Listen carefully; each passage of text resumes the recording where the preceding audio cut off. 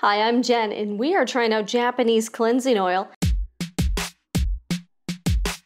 Since I became a full-time YouTuber, I've been having to wear a lot of makeup a lot of the time, and it's something that I don't really like. Now, my foundation is Revlon ColorStay in the oily, like, skin combination. And uh, while it works great, it really does stay on, and I have trouble getting it off at the end of the day. And I've tried using like eye makeup remover, I've used makeup remover wipes, but still it doesn't get all the makeup off. So my friend Denise had recommended I try some sort of cleansing oil. So I ordered this stuff off of Amazon. I am not even going to try to pronounce it. It's Japanese and uh, I'll, I'll, link it below if you're interested. It was uh, about $14 and it comes in a very like nice looking bottle plastic, no breakage with a pump. The pump, you have to have a really light hand with it because the stuff really comes out quickly. And you can also order refills, so it comes in like a little pouch and you could refill this bottle. The refills are a few dollars less. You can save a couple bucks.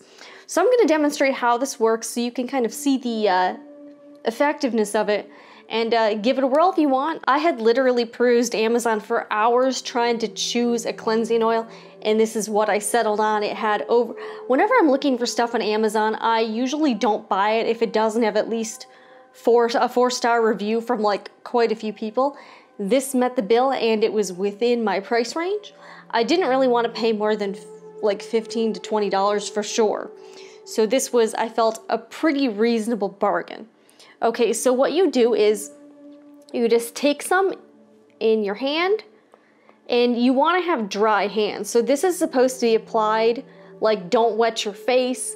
Your face should be dry, your hand should be dry because like the oils I guess like emulsify all the makeup and stuff. Okay, so I've got a like about a quarter size here.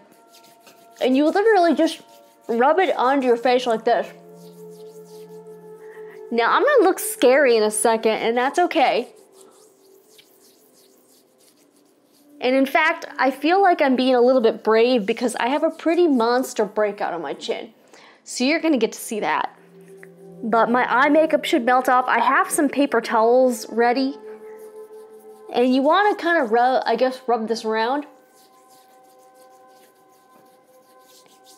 And I notice when I do this, like literally makeup is all over my hands. I mean, it's, you know, it really does work. I might get like a little bit more for my, uh, my eye area.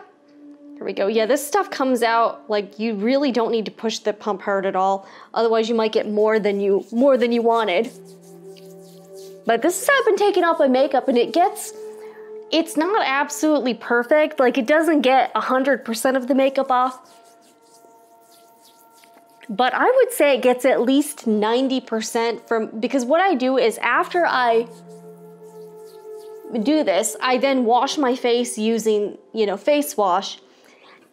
And then I go back over it with astringent on a cotton ball, and that's kind of how I judge if you got the makeup off is by what comes off on the cotton ball. And uh, this definitely does better than the makeup remover wipes. I was using makeup remover wipes that I got from Kroger for like, you know, two or three dollars.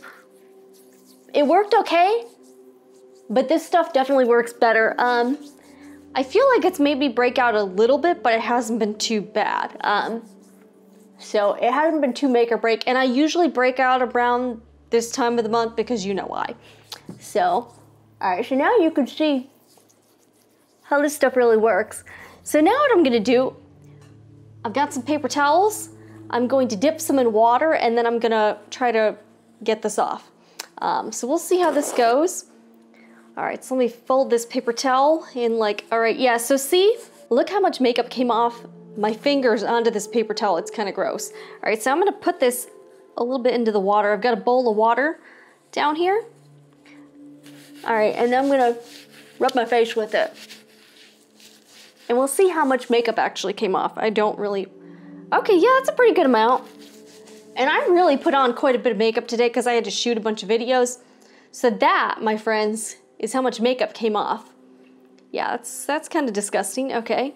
All right, so let's, uh, let's do a little bit more.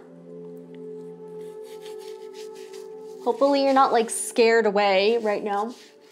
I don't even know what my eye makeup looks like. Um, this could look really frightening, I'm not even sure. I usually at this point go in with face wash, and usually that gets a lot of this stuff off.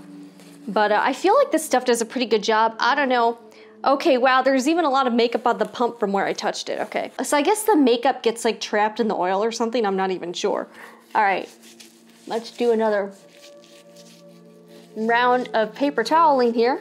So I basically just dip the paper towel in hot water. There's really not as much makeup on the paper towel now. So that's a sign that hopefully I got most of it.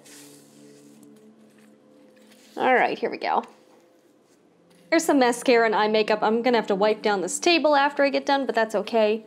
All right, so let me try to get this. Okay, so it's getting most of the makeup off. And honestly, once I wash my face and then put astringent over it, that pretty much gets all of it. But this at least gives me a good start to makeup removal. So I'm pretty happy with the product. If you're still here and I haven't scared you off yet, thank you for sticking around. On a scale of 1 to 10, I'd probably give this product like a 7.8. It's actually pretty darn good. It's not absolutely perfect, but it definitely met my expectations. I'm not disappointed by it, and it works better than the stuff I was using previously. So I would actually recommend this product, and again, I'll link it below if you're interested and you're looking for something to help you remove all of your day's facial stuff. But uh, yeah, I think, and again, I'm not even sure. It's like Hada Labo Goku Jian something something. Uh, but everything on it is pretty much in Japanese, so I'm not even gonna try. Anyways, if you enjoyed this video and found it helpful, hit that thumbs up button and subscribe to Jen Talks Forever if you'd like to see more crazy videos like this. But I promise I will try to wear makeup in most of the other ones.